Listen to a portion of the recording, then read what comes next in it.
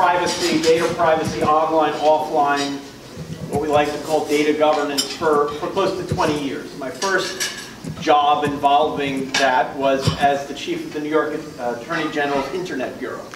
And at that time, really online data and privacy policies was, that was just, just beginning. And there was a very big case involving what was then DoubleClick pre-Google and the Abacus Co-op and how they were going to merge. And that really became kind of the seminal uh, set of rules arose out of that that govern online offline privacy, about merger of databases and privacy policies and what consumers uh, can expect.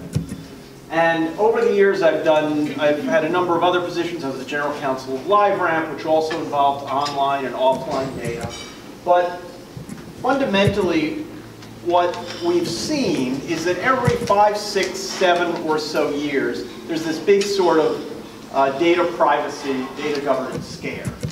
And there's a set of government rules, often at the federal government level, sometimes at the state level, that come into play, and there's a lot of debate. Often there's a lot of media uproar, there are congressional hearings around it, and very often, so far, the pendulum has, has swung back, and we haven't seen a lot of disruption of the data space. So things feel a little bit different now in that we probably are, a lot of people feel like we are in the next, say, 24 months or so going to get a federal privacy law.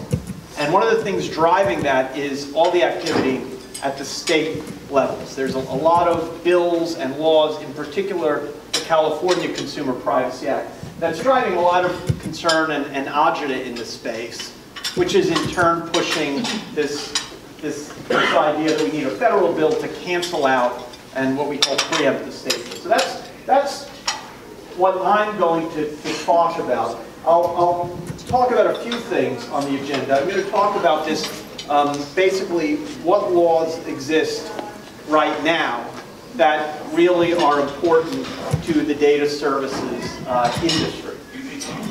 California, Vermont, which is a new data broker registry law, GDPR, how many folks in the audience, and it, it may not be all of you, uh, deal with European data or European customers or feel like you've been affected by the GDPR? Um, okay, so so a, few of you. So I'll, I'll, I'll talk about that in general. It's it's what's that? I said it hurts. It, it hurts, yeah, but, but it's, it's useful because a lot of people in the U.S. are thinking of the GDPR as a model. I'm, I'm going to put this down. You can hear me okay? Yeah, yeah. Can, are thinking of the GDPR as a model for U.S. legislation. So it's good to think about the components that may, may hit us here. Um, I'll talk a little bit about, provide an update on what other state legislatures are thinking about in regulating data personal information is kind of the term that they usually use. Talk about the federal landscape a little bit, and then generally what you know what what we should be doing to be a little bit proactive and a little bit less reactive. So, quick refresh: what laws apply to data licensing today? This isn't all of the laws, but these are sort of the big points that create risk for data services companies. So how, how many folks know what the California Shine the Light was? It's been around for about, about 15 years What, uh, what the California Shine the Light law says is that if you're a website and you're and you uh, provide, you disclose data to third parties for third-party direct marketing purposes. So this might be, let's say, uh, could be like Pine Inc., right? They could be a, a charity, could be uh, members of a, uh, a data co-op. If you're providing data to third parties, whether those are third-party marketing platforms or just selling your list, you have to do one of two things. You either have to have an opt-out option in your privacy policy, where I, as a consumer, can go to the privacy policy, click on a link, a form, an email, and say, don't sell my data.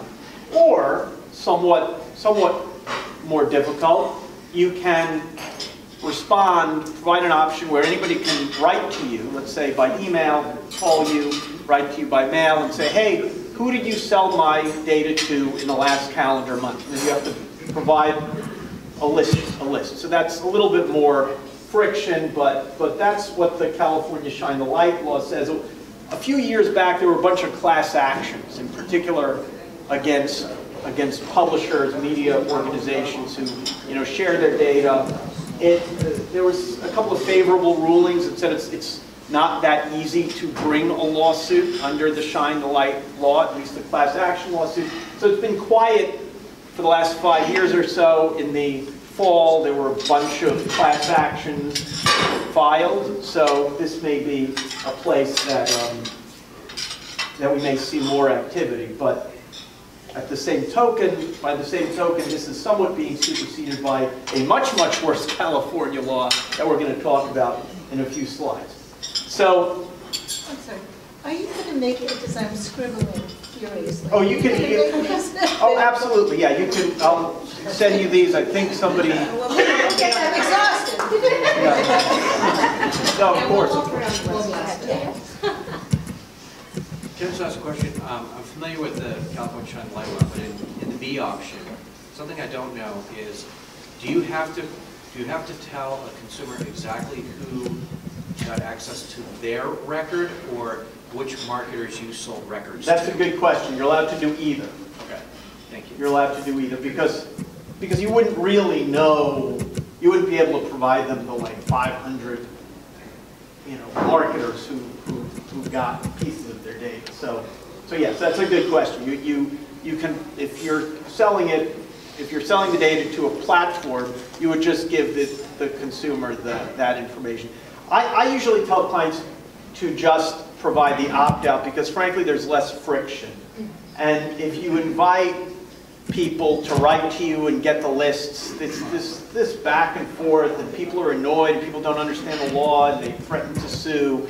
Whereas if you provide an opt-out, you've, you've done your duty. And the fact of the matter is, very, very few people go to a website's privacy policy and opt out. I've never had a mm-hmm. client, even among quite large platforms, who get more than a handful of, of, of opt-out requests. So from California, the largest, most, pop, most populous state, anyway, to Vermont. Vermont's a tiny state.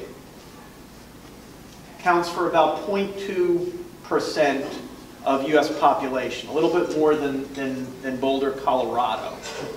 Um, their my guess is that their marketing population is even less than that. My guess would be, because it's largely, you know, it's an agricultural state, uh, my guess is that it, that in terms of the marketing community, it's probably 0.1% would be my, my rough guess.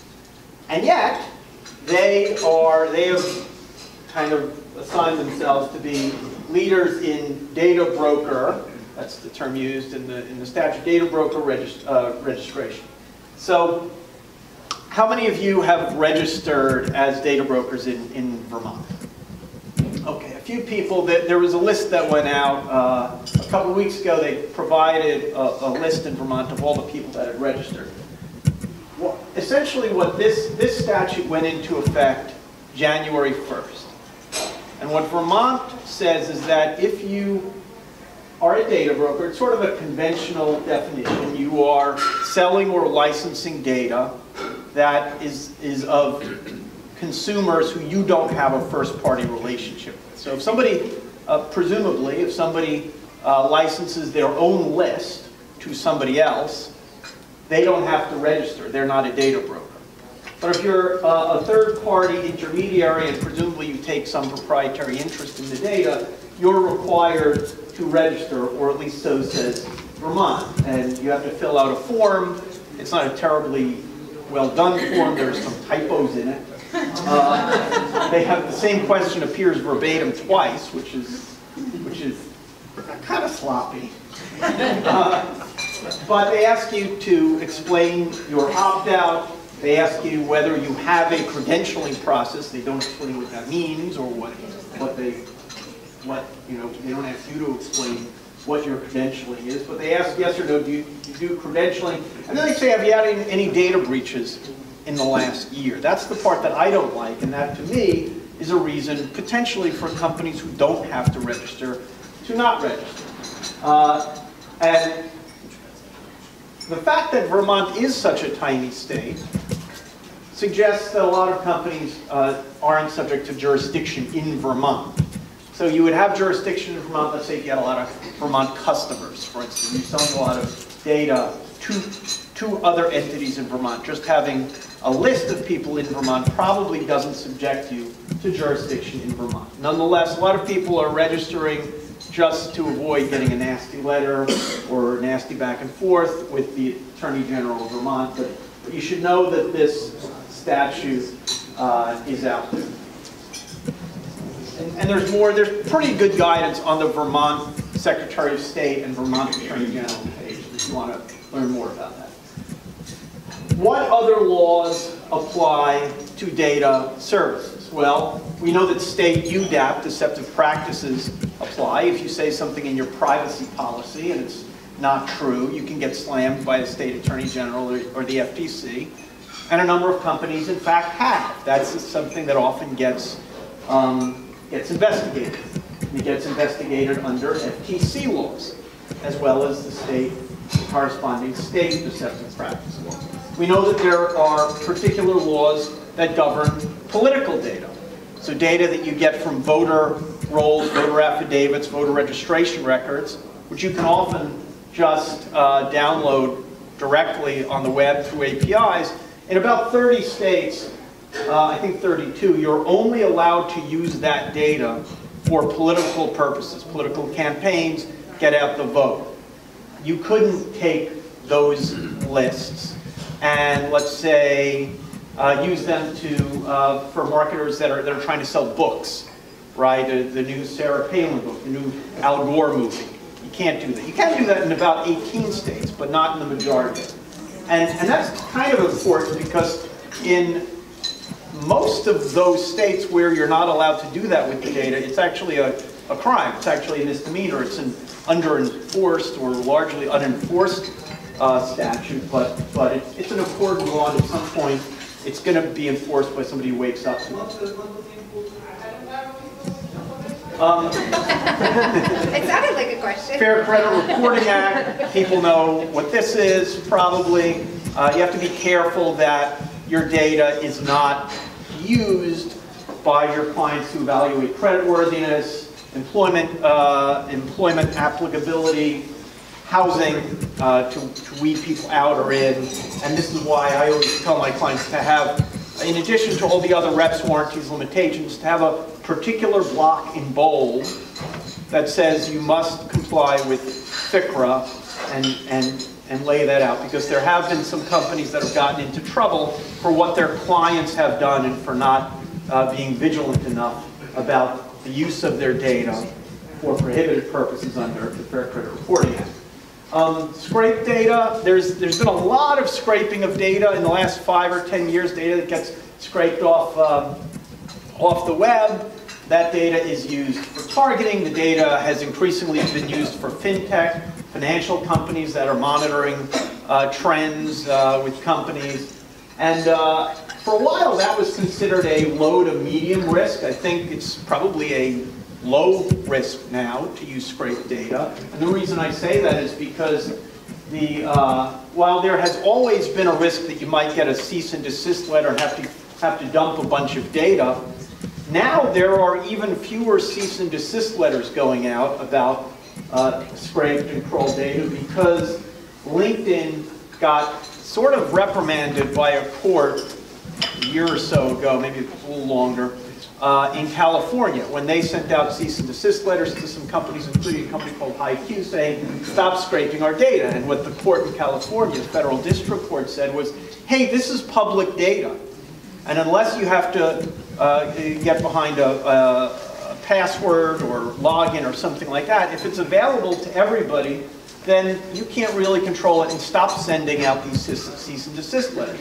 LinkedIn took it up on appeal. It was argued in the summer or fall, I think in August. There's, and so we're watching for that decision because, uh, because we want to see if the Ninth Circuit agrees or overturns it and says, no, no, no, you have a right to control who has access to your servers, and you have a right to enforce your terms of service, and this stuff about private versus public data, we, we don't buy. It. So that's an interesting case that's coming down the pike for anybody that's using licensing, relying on scraped data.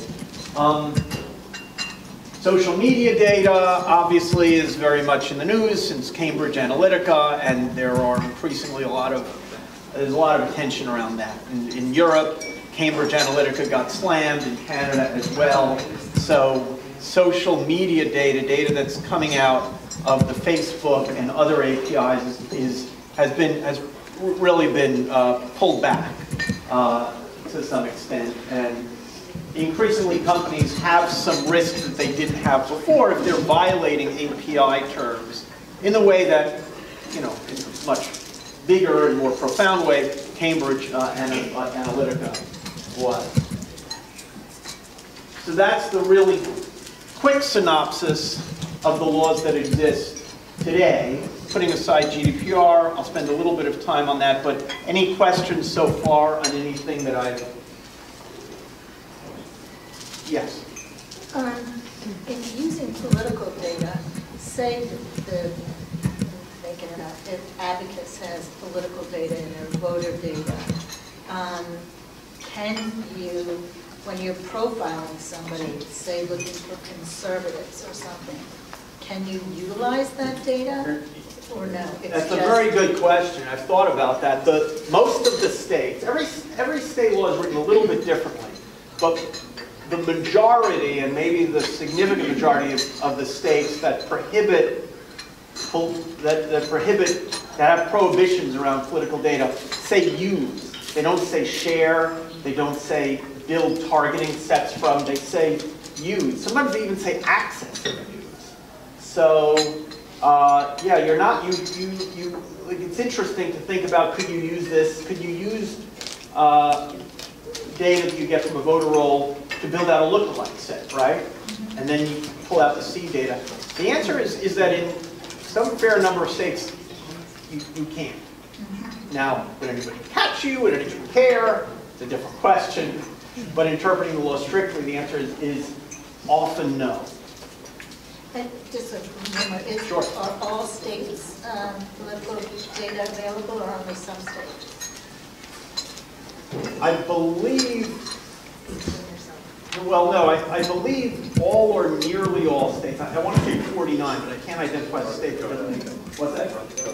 That's what I thought. Um, yeah, so I think in 49 states it's available, but in, I think, 30, I think the numbers that I gave are correct, that in 32 of them, there are strict limits. And in seven, yeah, yeah, I mean, I, every year or so, I, I update my research, and there were, there were a couple of changes, like Illinois changed, but yeah, it's give or take 31, 32, there are, there are, are restrictions. And of the other 18 or so, a few of them are, are big, are, are relatively large states, uh, that you have unrestricted use. So, but, so theoretically, you could build out a lookalike set from those. Um, Yeah, so mostly what I've read applies to consumer data. What's the application for B2B, or is there anything at all in place for that? Uh, Well, B- B2B is is exempted by some of these, uh, by some of these statutes. Um, So I I think, I think the Vermont, and B2B is not covered by Shine the Light law. I believe it's exempted by Vermont, uh, but I'm not 100% sure of that, but I believe that's the case. Uh, GDPR, which we're going to learn about, applies a different standard. So I think it's, I think it's pretty likely, well, well, I don't want to predict. It's, it's quite possible that, that if we get a new privacy law federally, that B2B will be held to a different standard. The concept around B2B is, it's, uh, you know, it's, you're kind of helping somebody do their job. Yeah. That's the concept under the GDPR. So it's a quote-unquote legitimate basis to use the data. It's exempted from, you know, a number, but it's not exempted from some statutes, not exempted from CAN-SPAM, for instance. A lot of people think that Correct. B2B data uh, is exempted from CAN-SPAM, and you don't need your, your opt-out uh, link. I often get emails from, from people inviting me to conferences and I don't have the opt-out link. I know, I know that that's a violation. I also know that CAN-SPAM is a very under, under enforced law. You know, it's enforced largely by, by, by, uh, by ESPs, right? And- and Yeah, because mostly what I've read relates to home address, so I wasn't sure what this is addressed. Well, that's the difficulty. I mean, you don't really know if something is, is a B2B address or for a home address or. So So I won't, I won't belabor GDPR because I know there's a minority of, of folks who, who are particularly interested in this, but here's, here's the backdrop of the big parts to the, of the GDPR. The GDPR, General Data Protection Regulation, was this big law, 100-page law that went into effect across Europe. And it went into effect last May. And there had been a two-year runway. So for a long time, there was a lot of preparation and a lot of legal fees and a lot of kind of hand-wringing that went into this. And now we've still got some confusion and it's probably going to be three, four, five years before it all works its way through the system. That said, the key pieces to the GDPR across Europe uh, and the key questions are, first of all, to ask whether the GDPR applies. GDPR applies to companies not only if they have uh, actual boots on the ground in Europe, but it applies to companies that are targeting people in Europe, selling services and goods into Europe, uh, monitoring or keeping, if you're a website, uh, tracking and monetizing the behavior of Europeans. So for a lot of US only companies, GDPR doesn't apply. But if you're kind of reaching overseas, trying to reach those customers, trying to monetize those consumers, GDPR does apply. So GDPR does apply, what companies have to ask is, what's my basis for collecting data?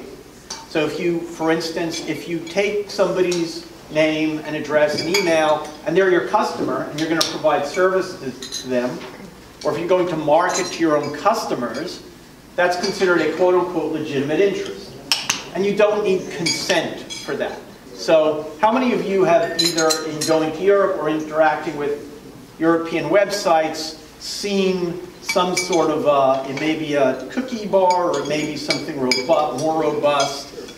Okay, so increasingly if you go to, let's say, uh, a, a German newspaper site, you're going to see because they're covered by GDPR, even if you're not, you're going to see a sort of widgety thing that's going to say some stuff and tell you how they're using your data, and you're going to have to say that that's okay with you, or, or you'll have the right to tell them not to do certain things with your data. And that's if, if they are going to use your data to monetize it, to sell it, uh, to use it for quote-unquote monitoring or online tracking, they've got to get your consent. We don't like that. We think that that puts a lot of friction into the relationship. It's been criticized. There's this concept called consent fatigue because people in Europe are constantly being bombarded by these boxes and widgets and screens, and it's actually super annoying. So, so there's some very legitimate criticism to having to get these, make people jump through these consent hoops. Um, there are significant notice requirements under the GDPR. It's a fair bet that whatever we wind up with in the next year or two or three in the US, that uh, it will, whatever that law is, that there will be some more uh, robust requirements of privacy policies. So, you know, there will be a certain amount of elegance and nuance that's going to go into crafting those. Uh, regardless of what happens. Another piece that's important to the GDPR, that's also important to laws in uh, California and bills in places like Washington that are becoming very popular, state of Washington, are access and deletion requests. There's this concept brewing throughout the world that people have a right to know more about how companies are using their data and whether companies have their data. So it's likely that we're going to see that more as a trend, where a consumer has the right to call or write or email, and to the extent that their identity can be at least generically verified, that they are who they say they are, that they will, within 30, 45, 60 days, whatever it is, different under different laws, have the right to get uh, like a CSV or some sort of file that says, here's what we know about you. And to, and to opt out of that for certain purposes. For instance, for marketing purposes, you can't opt out for, let's say, billing purposes or legal purposes. But that's a right that they have under the GDPR, and that's, that's sort of a theme that we're seeing in the US. Um, and under the GDPR, there's this concept of controllers and processors. How many people have heard that distinction? Some people are controllers, some, some companies are controllers, some are processors. In the US, we call processors service providers. And we call controllers something else, maybe data owners.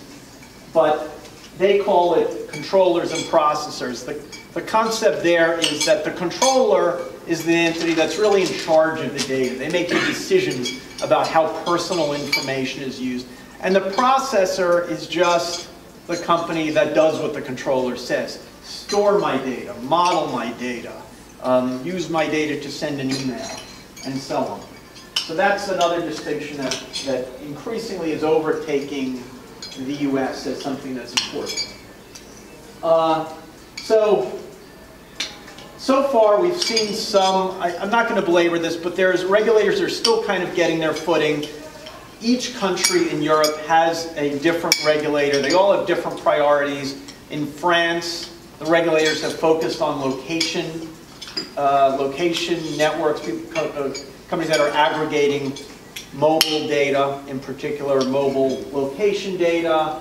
Uh, in, in other countries, they've, they've focused on other things. We're starting to see the first complaints. And uh, so far, the fines have been fairly low. But, and, and frankly, a lot of the regulators are still trying to figure out what their priorities are going to be. So this is kind of what happened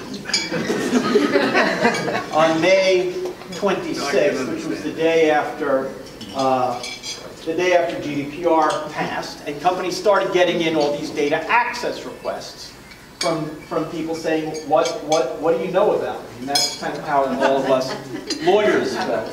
And that's what we're trying to avoid in California. So, so with that, uh, that's going to be our segue into talking about the California, the California Privacy uh, Protection Act. Yes. Does this apply only to European community countries? It, it applies, it applies only to European Union countries, but EEC countries, like in Scandinavia, most of them have similar or analogous uh, requirements. Any idea what happens to Britain in three weeks? Well, they would have to, they would have to pass something that says, that they still have their national laws. And a lot of their national laws, like for instance for email marketing, largely parallel what, what the GDPR has. But to fill in the gaps, they probably do need to pass uh, a a gap fill, some gap filling measures. But it doesn't apply until they do so. Correct. Interesting. Yes?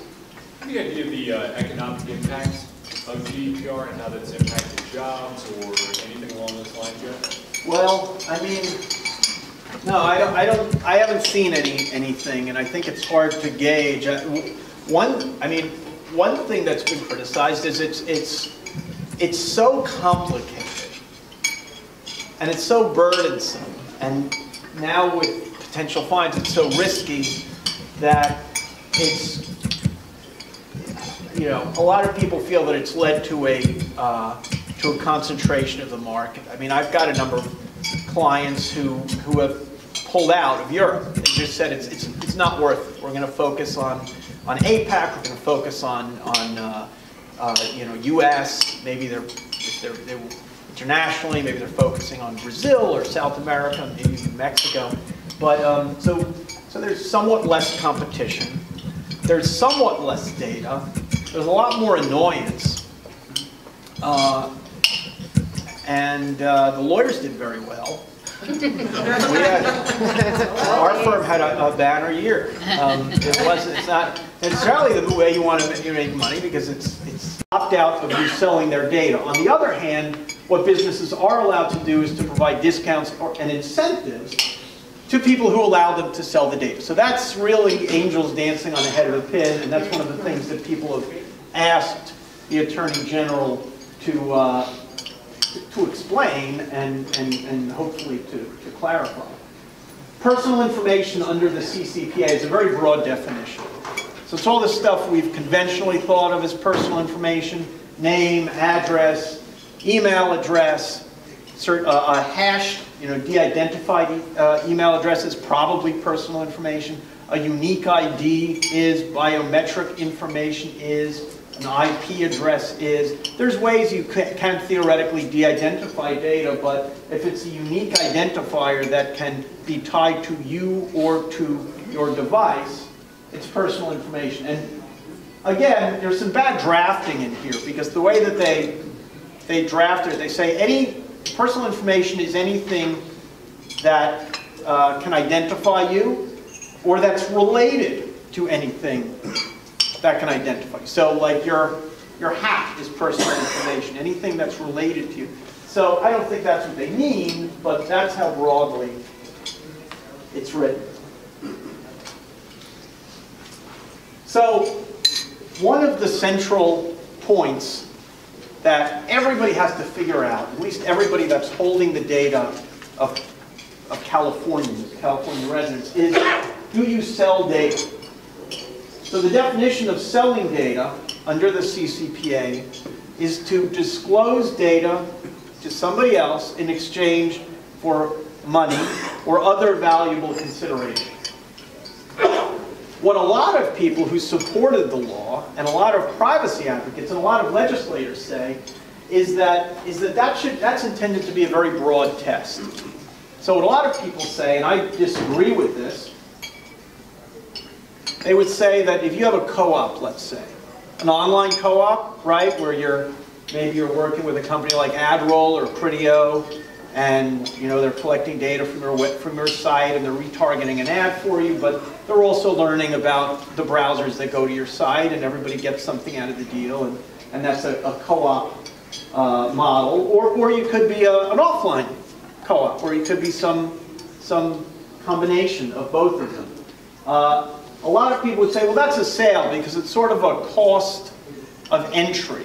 You have to allow this third party to use your data in order to get the valuable service that they're providing. To me, that's completely upside down. Uh, you can see me debating it on the, the Ramp-Up website with, uh, with, uh, with a friend of mine who's, who's a privacy activist. But I mean, to me, that's upside down. If you're not getting money, you're not selling anything. If, if you're a business and you're a member of a co-op, and you're paying the co-op $10,000 a month uh, for access, subscription, whatever it is, and you're also allowing them to use your data to, to create a product, it seems to me, if I was that business, I would say, what are you talking about I'm selling? I'm not, I'm paying $10,000 for a subscription. How can I possibly be selling my data? So, but, but that's an issue that people are disagreeing about, and in, in other state statutes that are being uh, drafted in this model, they're, they're correcting for it. But, but right now, it's a little bit up in the air in California, and I frankly, I, I don't understand how so many people are taking what I think is an extremely broad definition of the term sale. Uh, in any event, uh, so, so then, there, so there's, on the one hand, you could be selling data, and there's also some definitions in the statute that says selling is for a commercial purpose. There's this other definition in the statute that says there's this other thing called a business purpose. And what they obviously have in mind for business purpose is, is service provider functions. When you give your data to somebody and you say, hey, deliver this mail to somebody, or hey, store my data, um, or, or hey, do security functions on, around my data. In CCPA, under CCPA, if you're only disclosing the data for a business purpose, it's not a sale. And here's the interesting thing. A disclosing data for a business purpose includes giving data to your service provider so that your service provider can perform your operational purpose or perform your service provider's operational purpose. So now you're getting some circular stuff going on. If I give, if my service provider, if the, their purpose is to run a data platform or a retargeting platform or to create marketing segments or lookalike segments out of my data and everybody else, then that's, that's their operational purpose. That's why they exist. So what the law says is this. They say, well, okay, but if it can't be a, they, what they can't do, if they further sell it, if your service provider further sells it, it's not a business purpose anymore, then it's a sale. So why does any of this matter, by the way? Why does it matter whether something is a sale, or a commercial purpose, or a business purpose? The reason it matters, the reason it matters is because, oh, it's, it's right here, is because if you sell data,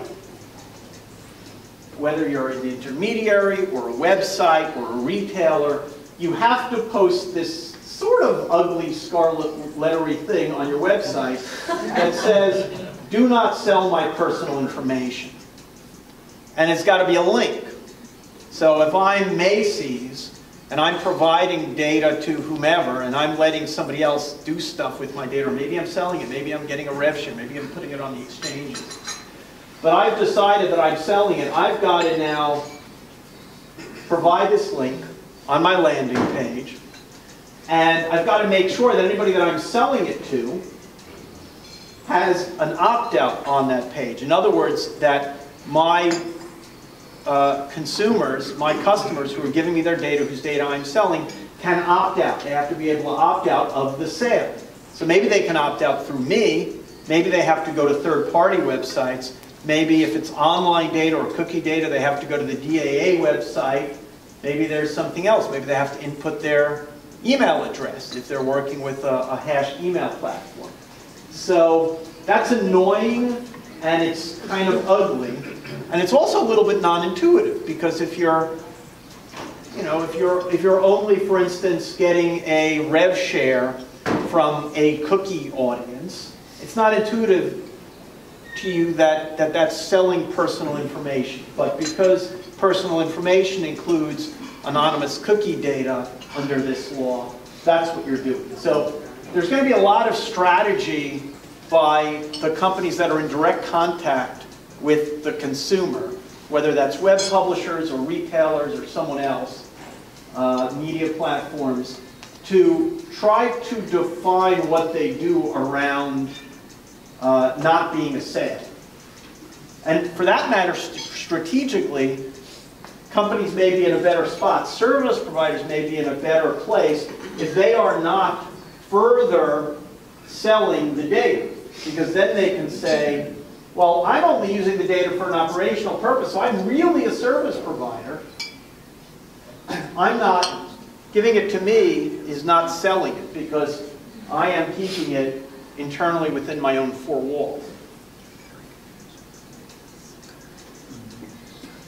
So, what about the exemptions? There was a lot of discussion in California about, about this law being kind to small businesses.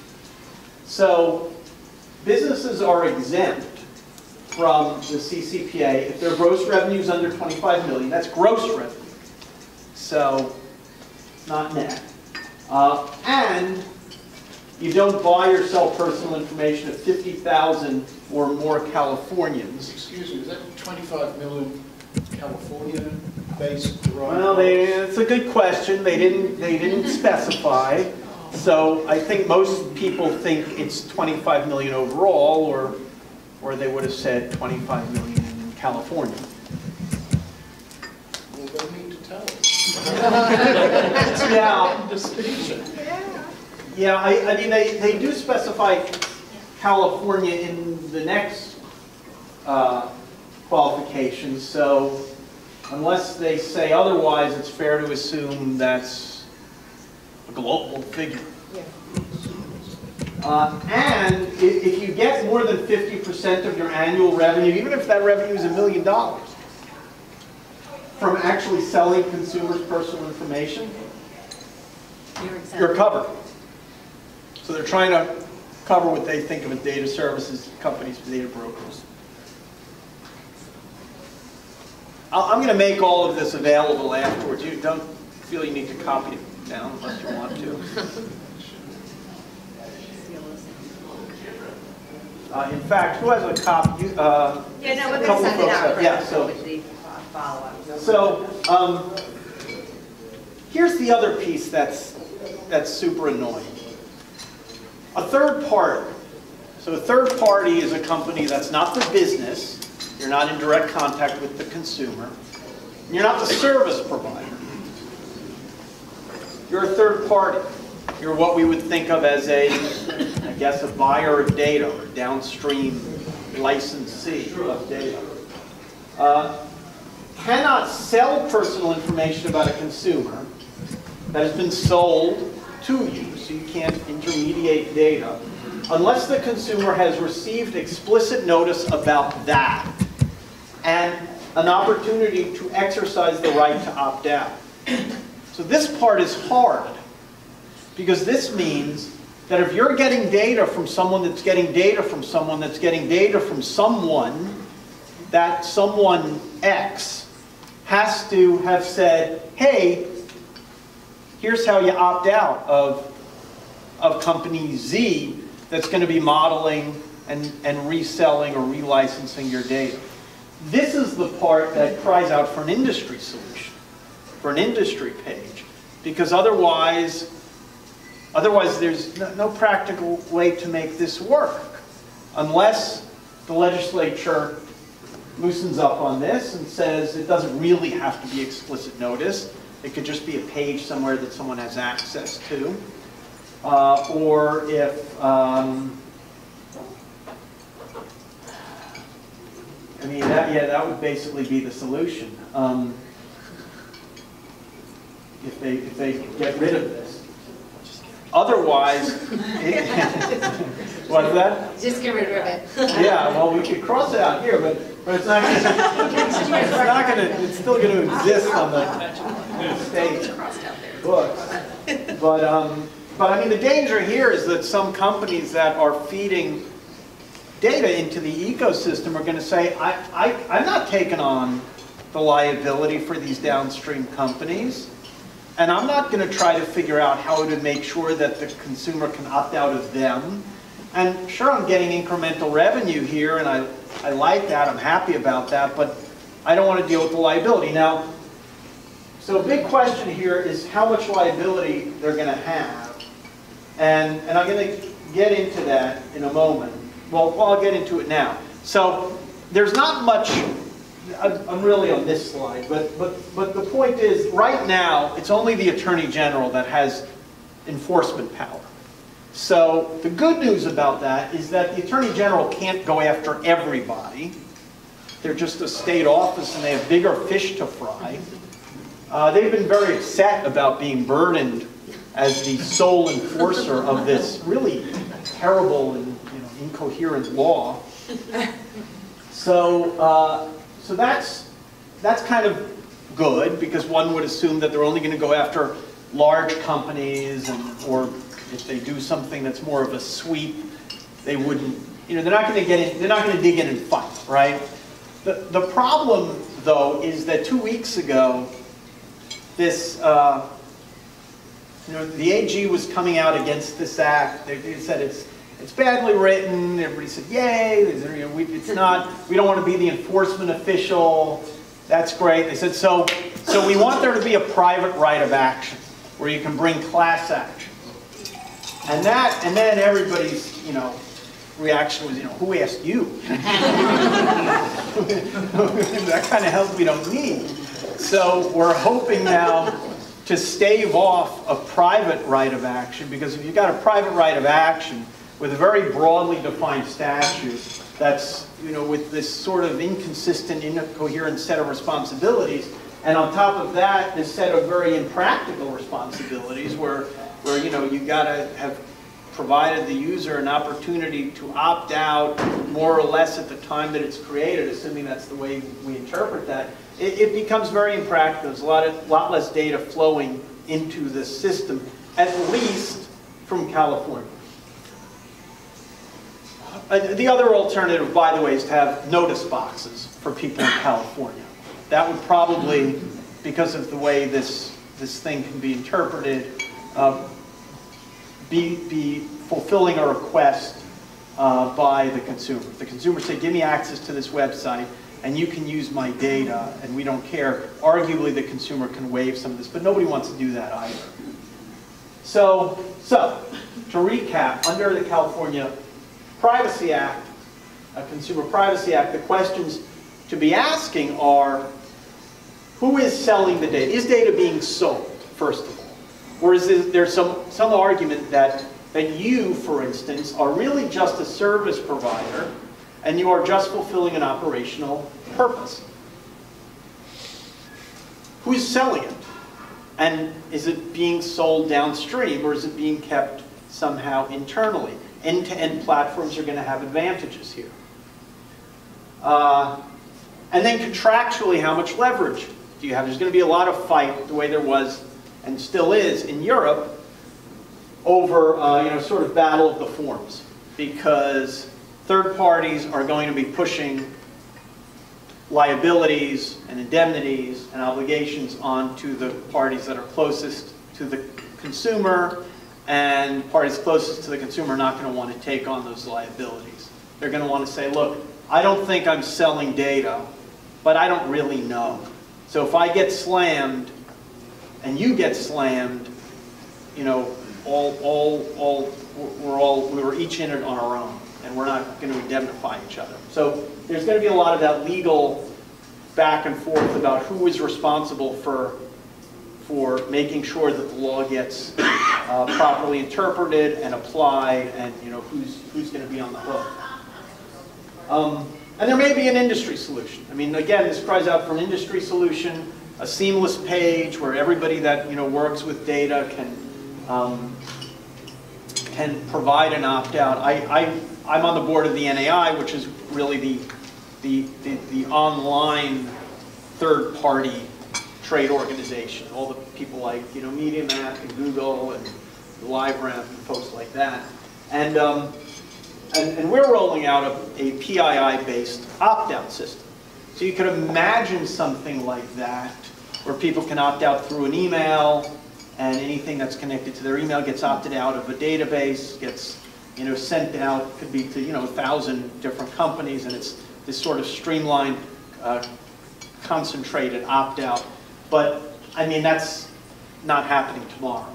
So, but I mean that is one of the things that the Attorney General is supposed to comment on and start thinking. There's also a particular, just, just in case that wasn't all enough, there's also under the CCPA an affirmative opt-in consent requirement for the collection of personal information from kids under 16. So a child is allowed to consent, but has to consent to the sale of, it, of his or her information if that child is 13 to 16. Under that, as a COPPA federal law, the parent has to consent. Did they, did they ask parents about that Yeah. Yeah, it's a little odd. It's a little Yeah, odd. yeah, yeah. And well, and then this week I read there's a federal bill, I I think it was just today or yesterday, where, and I haven't read the bill, I- I don't think it's been made public yet, but there's apparently this federal bill that's going to come out that's going to essentially raise COPPA, folks know what COPPA is, the Children's Online Privacy mm-hmm. Protection Act, to 15. Which actually is, is more complicated than it sounds like, because you don't, there, there's, the thing about COPPA is that most of the decisioning is about whether a particular property, an app, a game, a website, is directed to children. Now, it's pretty easy to know whether an app is directed to a child under 13, right? I mean, at 13, like my kids are 13 and they're reading a lot of the stuff that I read. Uh, But, but at 10, you know, 9, 10, 11, seven, eight, if it's a Dora the Explorer app, or a kids coloring, or, you know, math for kids website, you kind of know that's for kids. But 14, 15, there's a lot of content, music content, social content, gossipy stuff that eh, it gets kind of hard to make the decision, especially if you're getting, buying data from that website. How, how do you know if, what the demographic of the website is? Very difficult. So I don't, it it sounds easy to say, well, 13, 14, 15, what's the difference? But it's actually hard because these are content-based. These are statutes that ask you to evaluate content. So will the California legislature fix this mess? Assuming I've convinced you that it's a mess. Um, The answer is maybe. There are a lot of bills that are pending, put in by industry organizations, by the California Chamber of Commerce. Uh, They're trying to, for instance, right now, employees are technically covered by this. So technically, an, an employee can go to her employer and say, hey, I want to see every, all the information you have, any confidential, you know, job reviews, performance reviews, anything you have, give it to me. So they want to change that.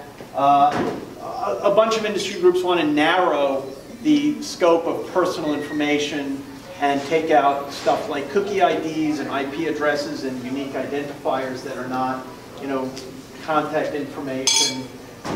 A lot of people are skeptical that that'll go through. The ANA and its sister organizations has a particularly aggressive approach. They want to remove online advertising, use of data for online advertising, from the definition of sale, which is, you know, it's kind of a steep climb because really the, the entire, like the main reason that this was passed was because of the collection of data for third-party purposes online.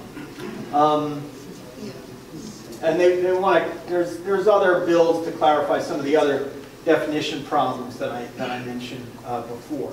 California Attorney General, again, probably won't help. The California Attorney General said, we're going to do as little as we possibly can. We're only going to provide interpretation and guidance of the things that the statute specifically says we have to do. And by the way, we need 24 more people because we don't have enough staff here.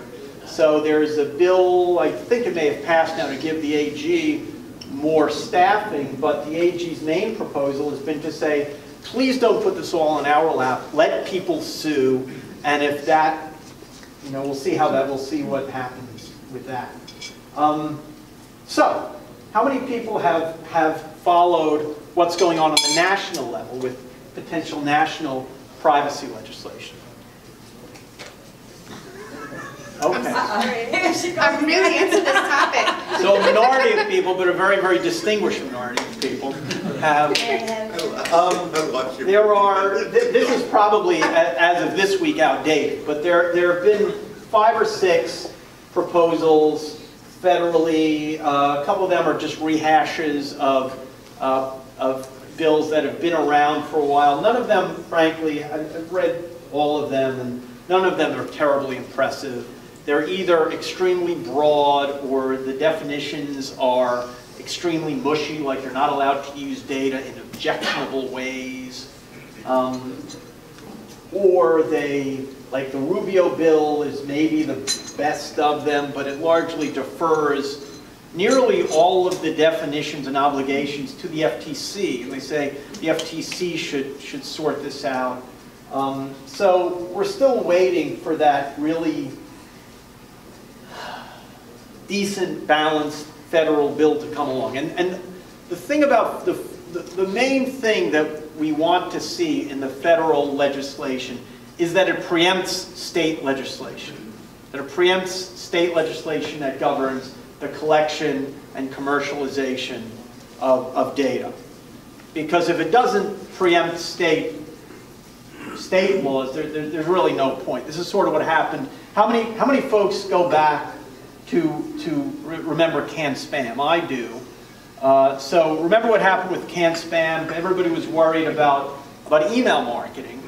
And consumer groups were calling for, uh, for, for, for legislation. Nobody knew exactly how that would work. And then California developed this, I think it was SB1 it was called, the Senate bill that that actually went into effect briefly that, that was essentially an opt-in bill. They said you cannot market to people, even your own customers, unless they opt in and say, yes, you can send me emails. That got, got Congress moving pretty quickly. We got this much better, relatively streamlined, relatively intuitive act called CAN-SPAM. And the hope is that we would have something similar federally. Maybe that, that punches up privacy policies, maybe that provides a right of access so long as the person can be uh, you know, verified, because you don't want to be providing personal information to somebody that's a stalker or that hasn't proven that they're the person to whom the data pertains. Um, maybe some particular protections around sensitive data, whatever we consider to be sensitive, and, uh, and, and you know, deletion rights. And hopefully not a, not much more than that. Hopefully not a private right of action, hopefully not these ugly and annoying consent bars and requirements. But, uh, but we're, we're going to keep seeing activity uh, on the federal front, probably on a weekly basis, and some of the some of the, the bills that are out there are probably going to keep getting honed and improved. That's the hope, anyway. Uh, what makes it what makes it hard right now, in terms of the timing, is you've got this California bill that's going to take effect mid next year. We've got this year, which is 2019, to get the, uh, the federal bill right. Next year is an election year. People tend to think not much gets done in election years. And if it doesn't get done this year or next year, then you're into 2021, at which point California and potentially other similar state bills that are really restrictive, that potentially hurt the industry, narrow data flow, cause potentially lawsuits to be filed, are, are now on the book. So we want to, so this is sort of important. Somebody had a question. Ken, you had a question? Yeah, what industries are driving the federal uh, legislation or push for against preemption or non-preemption? Is there particular industry segments? Well, I think it's a combination. It's, I mean, certainly big tech right now is pushing for a federal bill. Amazon, Google, Facebook have all, you know, and the Internet Association, it comes like eBay and so on, have all been very active. I, I think the, the retailers have also been, been pushing for it. They want access to data, as does the, the ANA, the, um, the, the Advertising Association. So I think, I think all of those, all of those associations have, have, have, have been pushing. I think, I mean, big tech has maybe been pushing the hardest, but. How about uh, banking, anything in banking pushing? mm, I mean, to the extent that they're members of the ANA, I, I would say yes. You know, they are big advertisers. So, um,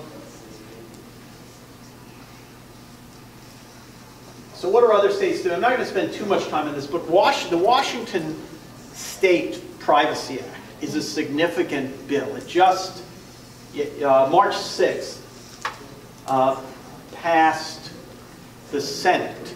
So it goes to the House. And, and, and it's probably got a pretty good chance of getting enacted into law. This is actually a pretty good bill as these laws go. And, um, and I'm stepping back, I'm going on the assumption that any law that's passed is going to have to have more rights of choice, more rights of transparency maybe than we're used to, but hopefully doesn't have anything that we would call an opt-in right and doesn't, and does have preemption and doesn't uh, have, have, you know, class action, uh, does- doesn't have a private right of action.